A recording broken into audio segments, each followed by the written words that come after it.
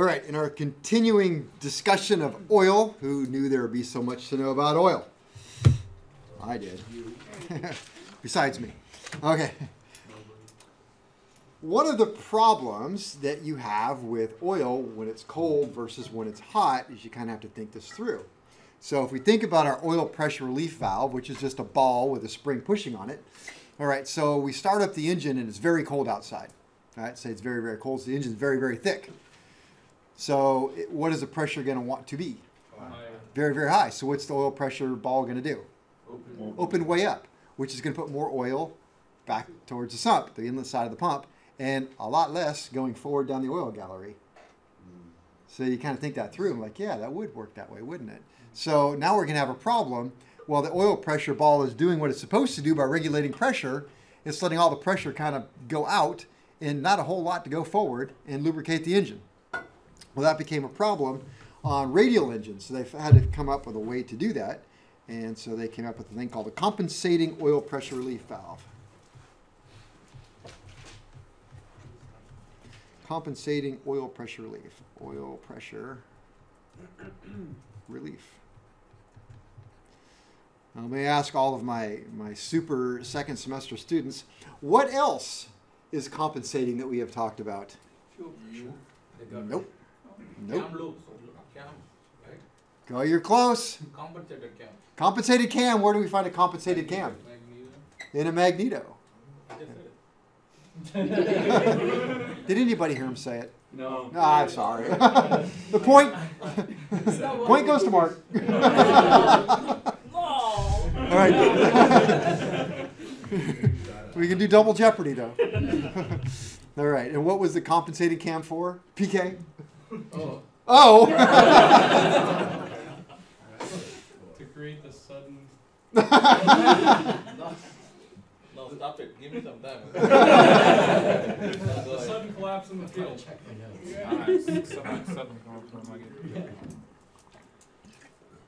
the sudden collapse in the field would be completely wrong. That's a No, that's not isn't it. it? I don't even know what a compensated cam No, I think that's the condenser that you could. Oh my goodness. All right. We don't want to ruin it for the guys in first semester, but since we spent all this time on it, a compensated cam is found in a magneto. And a regular cam in a magneto will fire the magneto at regular intervals. You can't fire a magneto in a in a radial engine at regular intervals because Because because the crankshaft moves in an elliptical pattern, and so they don't actually fire at the same degrees. So, anyway, that's compensating. Just, uh, but compensating oil pressure relief valve has nothing to do with the timing of an engine. Uh, so what it goes back to is what I just talked about is that somehow we want the oil to be very cold and thick, but still pump it through the engine. So in other words, we may want it to have high oil pressure when we start it, and then it can work its way down as the oil gets warm.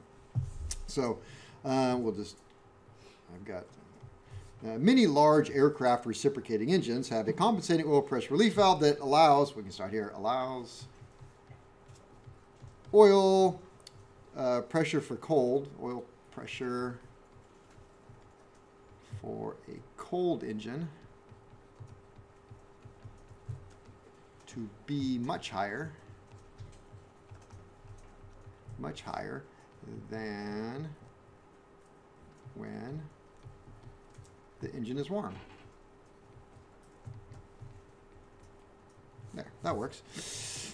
Uh, the higher pressure allows the thicker, higher viscosity oil to be forced through the engine bearings.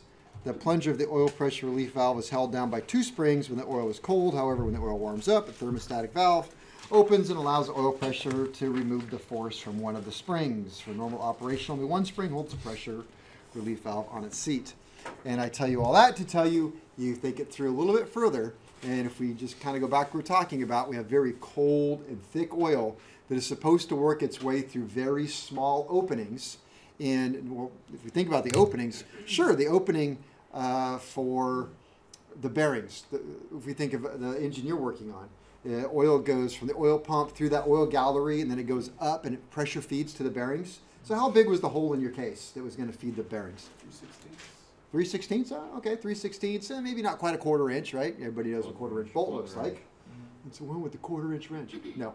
Uh, okay, so that's a pretty big hole. So you're thinking, well, that's a big hole, but it's going into a hole that actually is how much? How much space did you have between the crank and your bearings? One. A couple thousandths of an inch. That's the size of the hole. So that oil has to go not not the size of the hole, but the space between the bearing and the crankshaft. That's the real hole size, which is only what, a couple thousandths of an inch. And so if you only have a couple thousandths of an inch and your oil's very cold and very viscous, is it going to want to go through that or just go outside the little ball valve and back into the other side of the pump?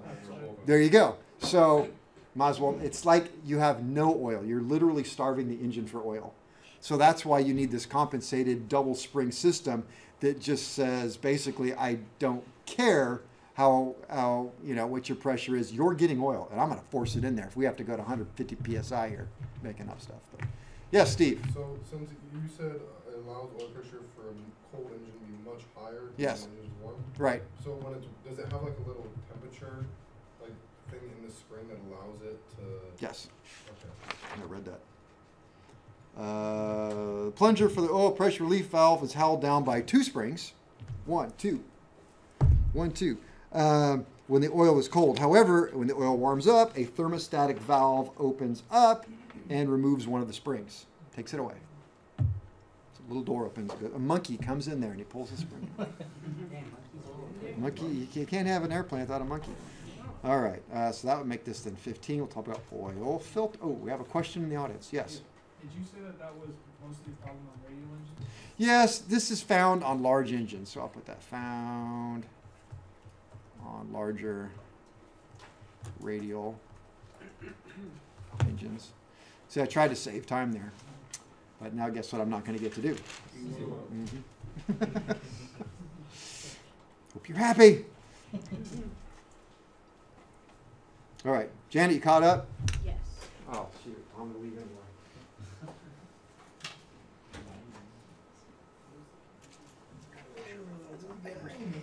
Oh, I'm over here sweating. The regular fan, like, it allows the. You get to bring in Off in the field. toys. It creates a big difference and then, you know, that's how I get sprayed. I never knew that there was a compensated pan. It's like, oh, fire. Oil filters. Let's talk about three types. Three types. Whoa, I don't know. That makes two. So two is one. This uh, strainer screen. We are using technology that also works for windows and doors in a home. It will keep out the mosquitoes and large parts. So this is the oil pressure screen, and I, I believe I told you that most engines back in the day, this was what the filter was. This is a Lycoming filter. Continentals, believe it or not, the Continentals, they're, they're much larger. I don't, I don't know why. So uh, Lycoming was using this, and the oil will come from the inside and go out. And I told you Continental runs the other way, goes outside in, and I believe I told you that the big deal about that is when you pull uh, Lycoming screen out, and you guys have seen the little housing, the little screen comes out, that when you pull it, you're going to find all kinds of debris and stuff in here. Well, hopefully not, but that's where it's going to collect on the inside. So you pull it out and clean it out, wipe your finger in there. One of the things I would do, it, I would take a clear container with some a little bit of kerosene in there because I had a 55 gallon uh, thing of kerosene and I didn't have to answer to anybody to use it. So, so I would wash it and then I would inspect what was left in my little clear bucket and use a magnet and and, uh, and check it. And I'll talk about findings and stuff. But this is the screen. So a screen, the screen, a tubular screen that catches larger debris and some carbon. Um, how often do I have to change my oil? Oh, you guys are so good. 25 hours. So then Lycoming came up with a service instruction where you could just take this off and bolt on a very nice kit that allowed you to have a, a spin-on type oil filter. And then I could go to 50 hours. All right. Costs $985. Does it? Huh? that sounds about right. So I'm trying to, I bought one finally. For what? 150. Your 150 has a Continental. Yeah, I know. Well, I have a Continental. It's a hundred, nine hundred and fifty dollars. All right, so strainer screen. A tubular. yeah. a tubular screen Yeah, I know. that catches larger debris. Eh, not my words. It'll actually catch some pretty small stuff and some carbon. Where do I get carbon? In the combustion chamber, it's going to start packing itself all over the place in there. Uh, I said Lycoming. Lycoming is from inside out. Um, all right, so here's something that absolutely is, I could not figure out for years and years and years. And we're talking about filters in a little bit, but I know I've already mentioned this. What happens if your filter gets clogged? You no.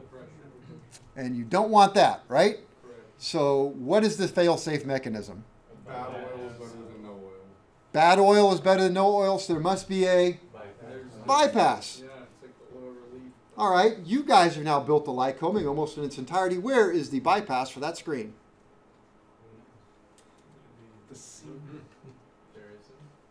I have looked for years and scratched my head. Most of that was lice, but and I could not figure it out.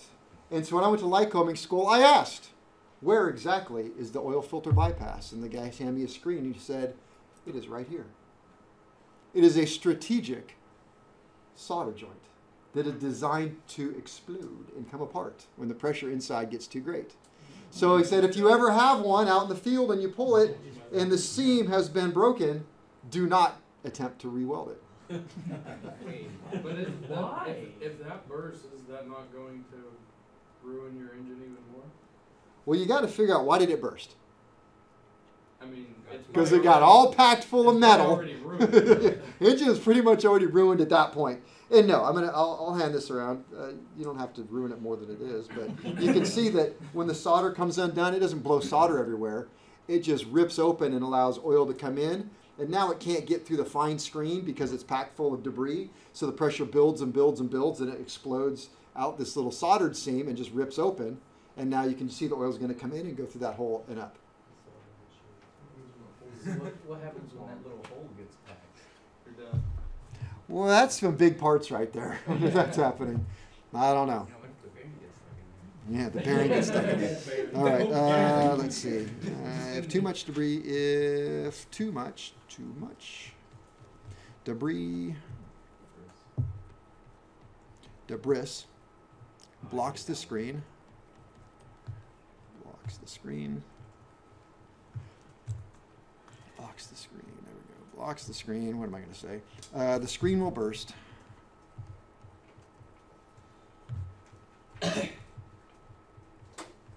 The screen will burst At a predetermined location. and allow dirty oil to flow to the engine. Well, technically, it's already in the engine, but you know what I mean. Because dirty oil is better than no oil. So, screen is cleaned and reused. Wait, after it bursts? Hmm. Isn't it nap time for you? Mm-hmm. It was. Okay. Oil change intervals, I N T E R V. Intervals are one half the time when using a screen. One half the time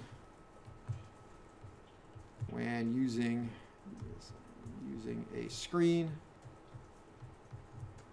versus a full flow oil filter which does say it's every 25 hours.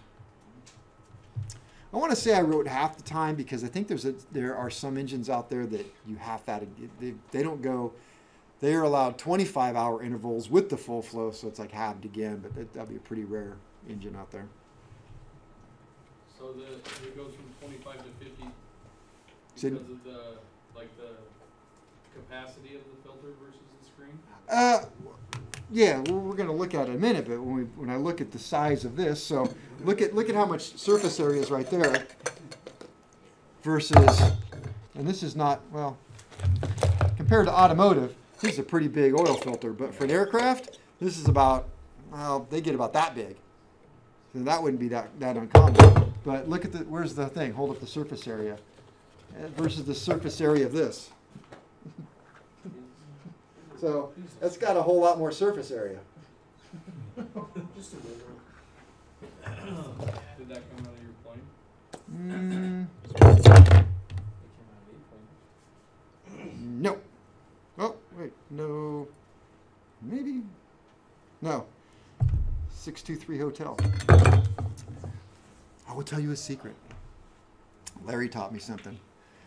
When he when the, when you guys do oil filters, right? So he's got to get like a, where you going to find a whole bunch of oil filters that haven't been cut open because you guys have to do this when you do inspections and stuff. And so he just goes to the airport and he goes to the trash and it's full of ones that have never been opened up and inspected. I'm like, wow. Wow. I'm like, are you serious? Like, every year. Don't worry about it. All right. Uh, okay, the next one I'll talk about is the the Cuno. Cuno oil filter. You're only going to see these on, I'll put this, on old, old engines, um, like the radials. I think the Ranger has one. That's the inverted six cylinder, stuff like that. So a Cuno oil filter is this right here. Here's this is a cutaway, right? It's, half of it's missing. Otherwise, you're going, whoa, whoa, just come right out. But uh, okay, so what it is, it's a whole bunch of stacked discs. And so the oil goes and it's squeezed through these stacked discs. So you can see it's going to come in. Uh, well, that says outlet. So it's got, where's my inlet? My inlet. Here, inlet. It's going to come through here. And it's going to go through these discs and then out the outlet. And it has to get to the inside of the discs and then out of these holes right here, then up out of the outlet. And then, of course, right here, it's got a little ball on a spring. What do you suppose that's for? Oil pressure relief valve? Bypass.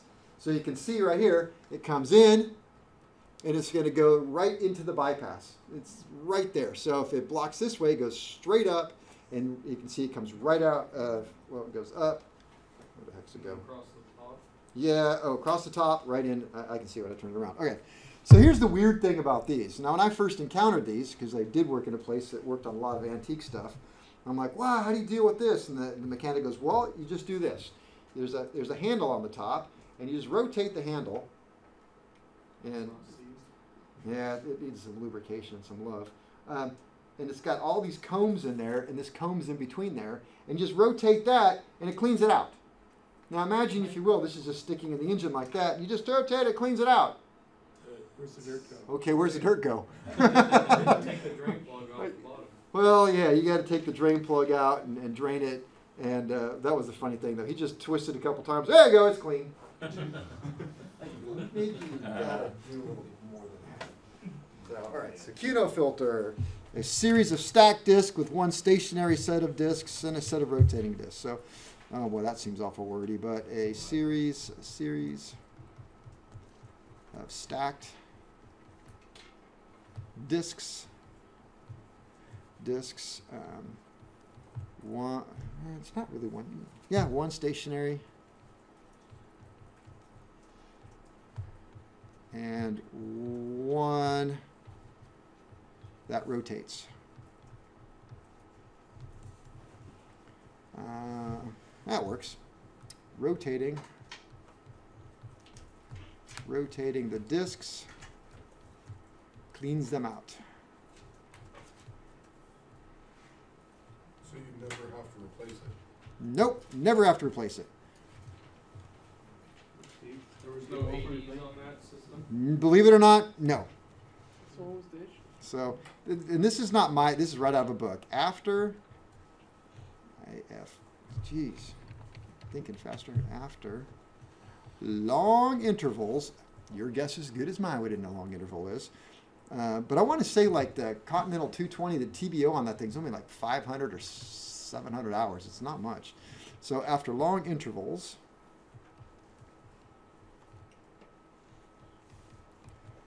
uh, the filter is removed and cleaned.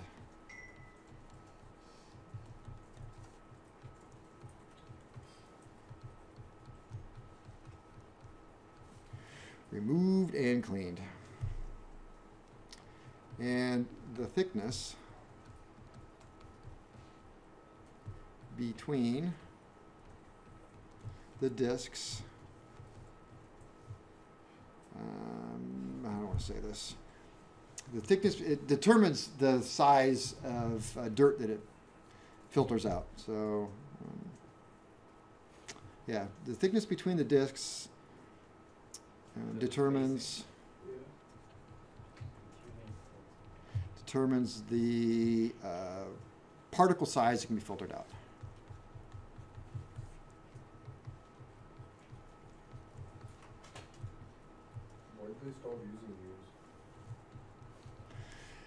Antique engines, probably, well, it depends on which engine, but I would say somewhere in the 40s.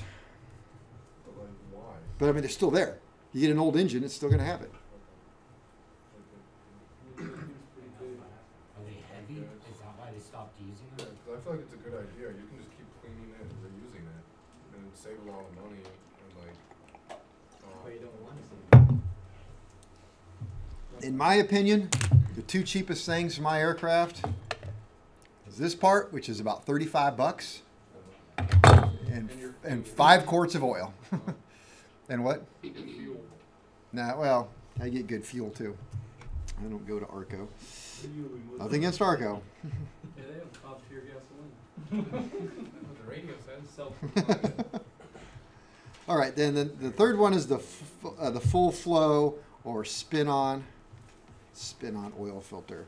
It uses wait a minute, I think I have pictures. Let's see.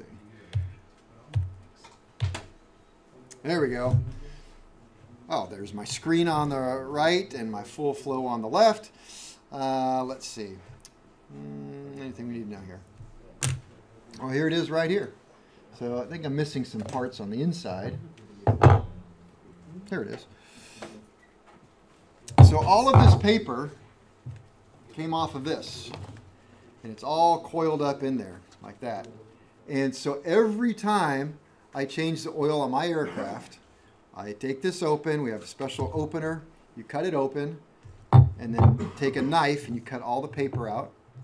And then you take the paper and at a minimum, you're going to stretch it out and inspect it. And this one, this one's been in use for me by a while, and it has some metal flakes in it, which are kind of interesting. Have you ever had to overhaul the engine in your plane? No, I haven't had it very long. It's only got 400 hours on it anyway. So you take it out, and uh, well, first thing you do is you hold your breath, and you hope that you don't see anything. so, whoa. one time, one summer, I spent the summer overhauling the same engine over and over again, and I put it on. Did I tell you this story? Uh, you guys would lie anyway, right? No, you didn't. Now I need something to wipe my hands with. Yeah, I got you, I got you. got to know it. Yeah, take my shirt. You put on, you could put on, on Scotty's hair. Steve's hair. All right, the thing about this is you really are should be wearing gloves when you do stuff like this. But I mean, my age, how much longer am I really going to live? Uh, because there's a lot of combustion products in here, all of the lead. Um, is a lot of bad stuff. But this is obviously extremely clean. Uh, it has been rinsed and washed and all kinds of stuff. Otherwise, it wouldn't look like this. It'd be oily, uh, stinking oily mess. But I don't know, you probably don't need me to pass that around. You're just going to be gross. So, all right. Um, let's see. Full flow uses cellulose paper in there. Some of them, now this shows you right here that it's got, right in here, that it has some sort of bypass valve, which because you got to have some sort of bypass valve, right? Because what happens if it clogs up? It's the same concept, but I have taken this one apart, and I have this part and all the paper and that other part that I can't find right here. And do you see a bypass valve anywhere? Can't see it very well. There is no bypass valve. I will tell you. But there's, there is zero bypass valve on this. So where's the bypass valve then? The. It's built into the engine. So that's why it's important to get the right part number, not just one that fits. Some of them have bypass valves, some do not.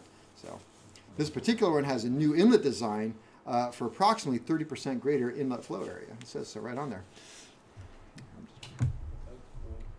That's cool. So let's see. Full flow spin on uses cellulose. Well, it's not. It's paper. Actually, it's cellulosic paper.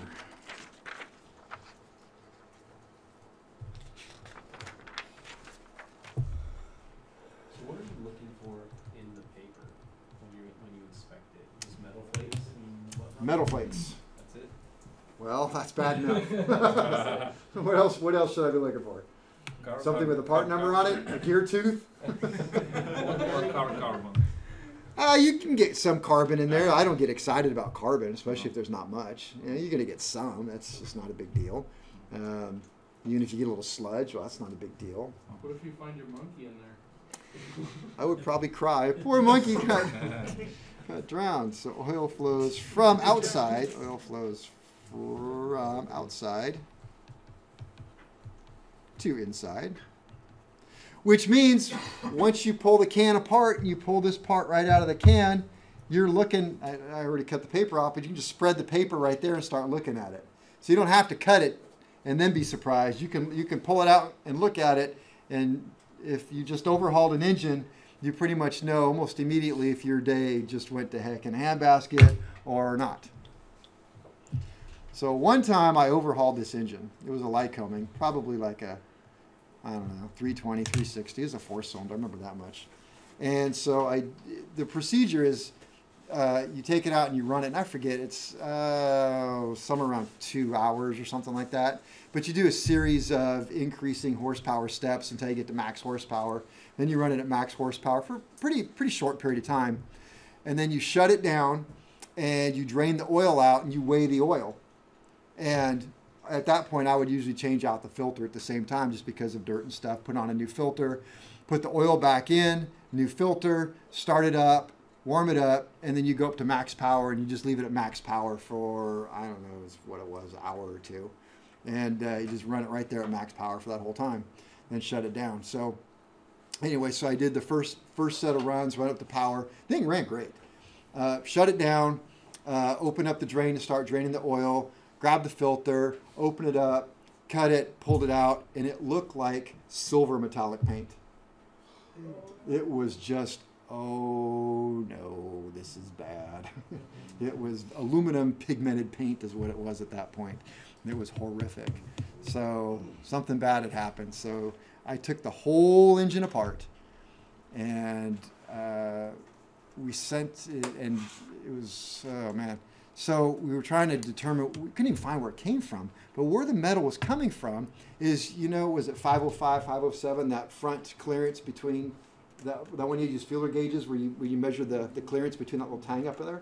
Okay, so I measured it and it was good, but what had happened, I bought a brand new crankshaft from uh, ECI, but I also had the crankcase surface and line bored because, why? Because the last person who built it didn't do wet torque, so the whole thing was fretted. So I had to have a surface and line bore on the crankcase, and the crankshaft is bad, so I bought a new crankshaft. So put the two together, there's this problem. So, so we called ECI and said we have this problem. I know it's been a long time. So I sent them the, that those parts back, and they they admitted, okay, we, we got some little problem here. We didn't machine it quite right, and this is on us. And don't worry about it. And, Well, that was a load off my mind. You know, it wasn't a dimension I could have ever have checked. It just wasn't. It had to do with the, how the radius was cut into one of the parts, and so uh, got it back, rebuilt the whole thing, uh, put it on the test stand, repeat the process, drain the oil, open the screen up, and it looked like it was Groundhog Day. It was the same. I was just like, are you kidding me? Again. And so we called them ECI, and they got on a plane, and they were there in the morning, and uh, with two guys, a tech rep, and they looked at it, and, and they they took it away, and, and then they called us and said they had to recall, I think, a bunch of crankshafts and stuff that they mismachined the radius in it, and the machines were out of calibration or something of that nature, and so they paid for me to overhaul it again. And so I overhauled it for the third time that summer, and put it on the test stand and ran it. And boy, when I was pulling that screen off for the third time, man, it was like, oh please. Although the boss was really happy because that's three three overhauls in one. I mean, he got paid three times for it. You know, it didn't, what did it matter? You know. So ECI paid for it twice. Customer paid for it once. Customer, I don't remember whose engine it was, but the customer was totally understanding and a great guy. Probably should have gave him the engine for free or something. But anyway, that was the end of that. How long does it take to overhaul the engine in the field? Uh, there's a lot of, of it sitting though, so Uh-huh. that's the hard part. And, and okay, so I had one guy who would take it apart. He took one day to take it all the way apart. Uh-huh. He spent one day totally clean. I mean, blasted, cleaned on the cart, ready for me to do NDT. Is this eight hours? Yeah. Whole day? Yeah, so it's an eight-hour day. Um, I would go through the whole engine. So in under a week, I had the whole parts list done, all the measuring done, all the NDT done, cleaned, ready, uh, parts on order, and a list ready to go for machine work. And then I would usually have to send it out for additional machine work and, and wait for the parts to come in. Uh, you know, new cylinders or overhaul the cylinders, um, crankcase, line bore, resurface, whatever I needed. So that would be it would be out usually for three to four weeks getting all that stuff done while parts came in, and then um, a week and a half in build up, Uh-huh. and then another three days for run up. So Kevin, you mentioned that um, your engine room variable will be much cleaner than a lab, like, Most of it. so you will have like a, kind of like a quality control. Uh, okay, well my first of all I was much smaller, Oh, and there's usually only one or two people in there. Oh, okay. So it was right next to where we did accessory overhaul. So maybe I'd be working on an engine while one person did accessories. So it was just the two of us coming and going. Okay. and it was it was not very wide. It was only like half the width of this room, but it was longer than this room, not by a whole lot. So it was small. Um, it was nice because it was air conditioned and heated, and so, so. But yeah, and the floor was painted real nice, and everything was all the tabletops were highly varnished and wiped down constantly, and so yeah, it was, we just kept it really clean. Uh, you guys just have a problem with there's just so many of you coming and going, and you just can't control the dirt. You just can't. Uh, okay, well, outside, inside, let's see. Debris is caught in the paper pleats.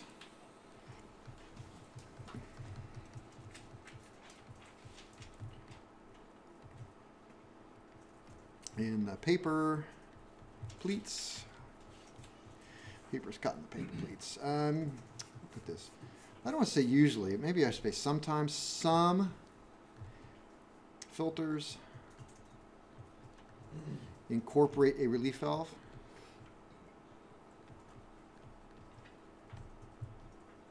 Incorporate a relief valve.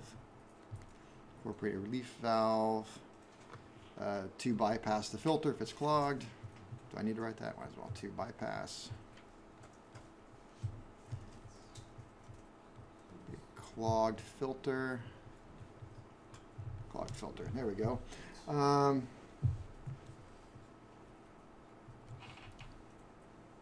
see engines.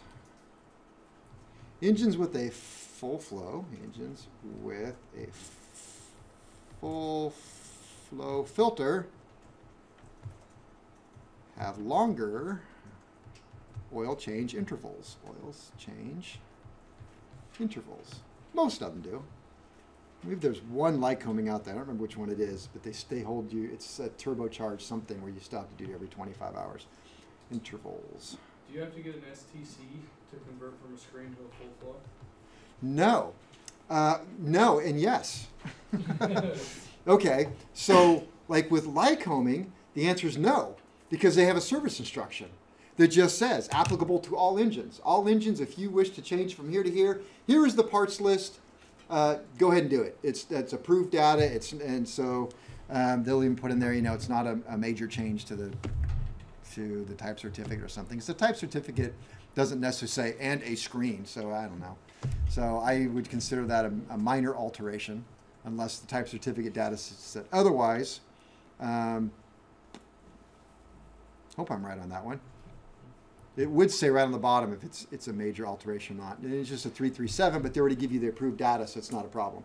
So you, you wouldn't need a type certi- a, supplement to the type certificate because Lycoming already gives you the data to do it. We'll go with that. Okay, but Continental, some of the Continental, especially the smaller ones, like the the uh, the 150s, they didn't have that option, and Continental didn't come out with an adapter that worked quite as well. So there was uh, Champion made them and Cessna made them.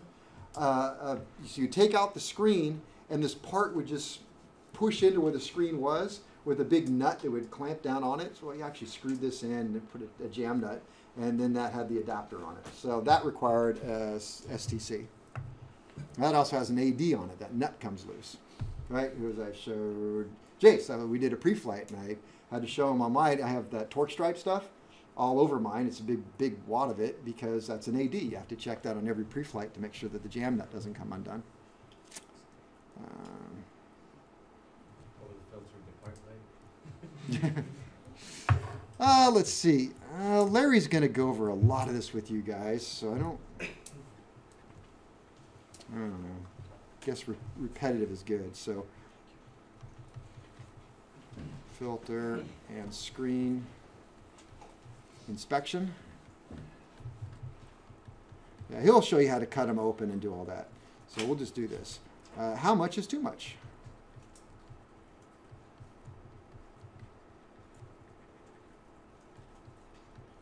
Well, if it's your engine, a lot. If you're trying to sell an overhaul, really just a tiny little bit. No, I'm just kidding about that. All right, so how much is too much? You get that? So, um, So is powdery better than flaky, would you say, or, I mean, is less, I don't know about that. It's, uh, metal's metal. I don't care what uh, what what form it's taking. It's bad.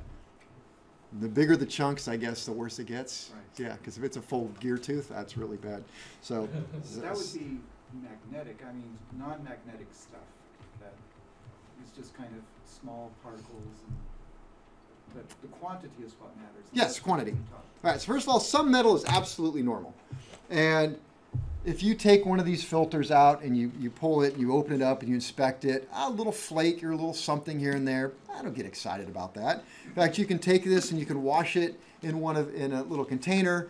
And it's very interesting then to take a magnet and see how much stuff will stick to a magnet. Well, a lot of that is just paper fuzz and, and, and around the magnet so it multiplies what you think you're seeing. It's not as bad as you'd think. So, but people are always shocked when they do that. Like, wow, that's a lot. I'm like, eh, it's really not really. Uh, so some is normal, um, but it must be small amounts.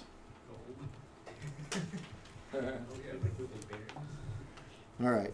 Um, this is a thing they call the rule of thumb. and you have to consider the fact have you, you know, do you have, who's got little fingers? no. Janet. Okay, so the rule of thumb, and it's going to be about uh, if the metal is enough to cover your thumbnail, it's enough to warrant immediate inspection. Well, is it Janet's thumb or is it Prince's thumb? Have you seen that guy's hands? Here's this. They're like bear claws, right? So they didn't really specify whose thumb, but rule of thumb, if the metal, Like a piece of metal or all the metal? combined? all the metal combined, yeah, not just a piece of metal. Got a pile of it right here, but every little piece will. Okay, if the metal is enough to cover your thumb, enough to cover your thumb Thumbnail, nail. Um, yes, it is thumbnail. thumbnail. Uh, that is enough.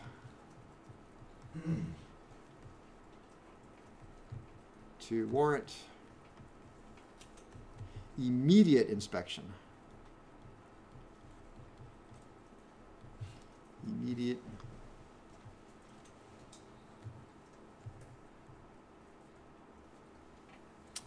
inspection.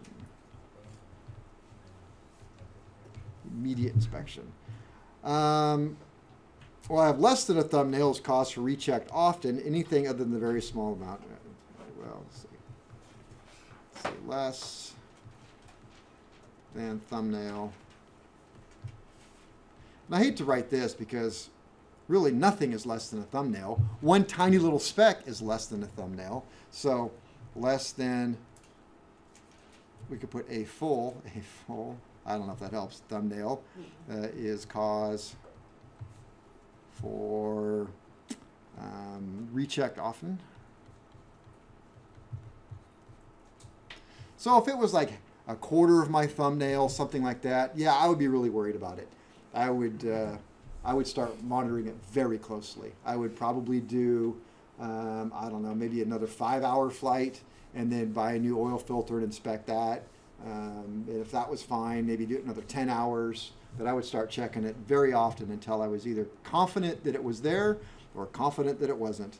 What do you think would cause it to be there once and then upon further inspection, not have anything else? It would depend on how long it's been in service and what's recently happened. So if it's an engine that has not had really any major maintenance or anything done to it in a very long time and suddenly started showing up, uh, that would really, really concern me. If I talked to somebody that, you know, if I looked at it in the logbook and it said, well, the cylinder was just removed and replaced, I'd be like, well, the mechanic left a washer inside somewhere, um, you know, uh, piece of safety wire went through the oil pump. And it's going to depend on what kind of metal it is and what it looks like and why. So it's really could be a part of the break-in. I'm going to expect to see higher concentrations of steel, but we're talking about visible though. So the things that are visible, uh, it's just first of all, it's going to depend on what it is. All right. So uh, and what kind of engine it is. So if it's a smaller Continental O3, GO300s and down, my experience is if I start getting a lot of metal, aluminum, it's number one, piston pin plugs. There are a lot of bad piston pin plugs that went out. So I would suspect that. Um, if it's steel and it's con- and Lycoming, and lifters, almost guaranteed. If it's, well, any, any engine that has steel, my first suspect is cam lifters. Anything that's aluminum, small continentals, first suspect is piston pins. Um, yeah, those those are your big ones that you usually get. Other than a small amount, a small amount of metal should be investigated.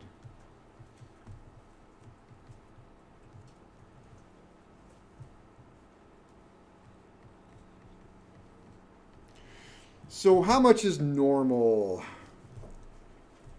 I don't know. You see the end of my pin? So about that much. I don't know about how much is that. Uh, it's a take a 3 8 inch bolt. If you could cover the not the head, the part the wrench goes on, but the other part, if you could fill that up, I would that from there on out, I'm freaked. It's got even that much. I'd be pretty concerned about. So if I wash it really good in here, I mean really well, and then use a magnet, uh, the magnet will usually fill up about that much right there, end of, end of a pin. But again, a lot of it's just paper and fuzz with a little tiny bit of metal in it that attracts all that paper and the fuzz to the magnet. How do you check for the aluminum? Use aluminum magnet. the color, just the coloring.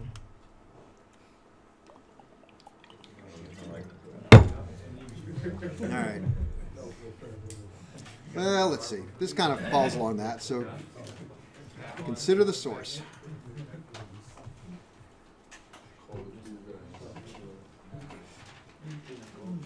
All right, help me out here. Consider the source. Uh, so I get a bunch of metal, but I determine it's mostly non-magnetic.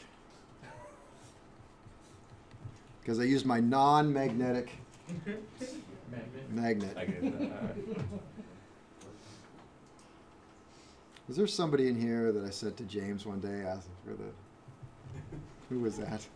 Sorry about that. Somebody's asking how to tell something was magnetic or non-magnetic, and I said, there's a special checker in the tool room.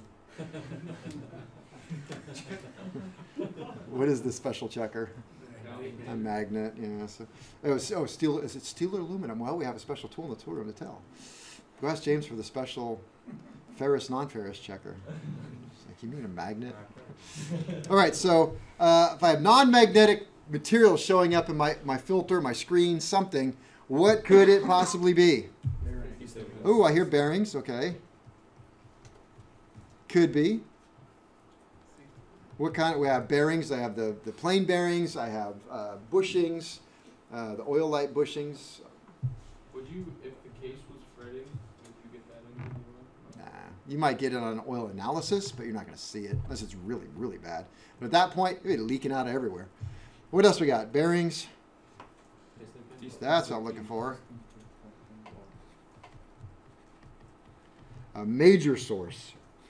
Um, I just kind of said this bushings.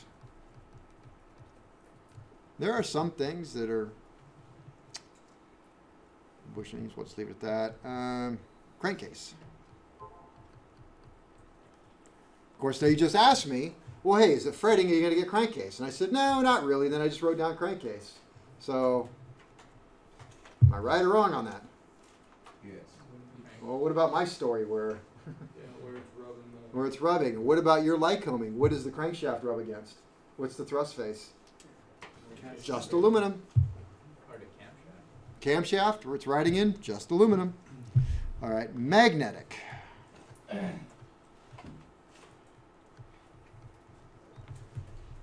All right, number one. We should do this like the Family Feud thing. But I'm sorry, I remember the old Family Feud and everything wasn't an innuendo of weirdness. So that guy kissed everybody's. I was just going to say that. but Richard Dawson kissed everybody. That guy, Richard Dawson, man, who played in Hogan's Heroes. All right, uh, number one. Number one cause for magnetic material. Cam and lifters. Cam and lifters. Uh, how about then rings and cylinder walls? But that's really fine stuff. Cam and lifters. L I F T E R S.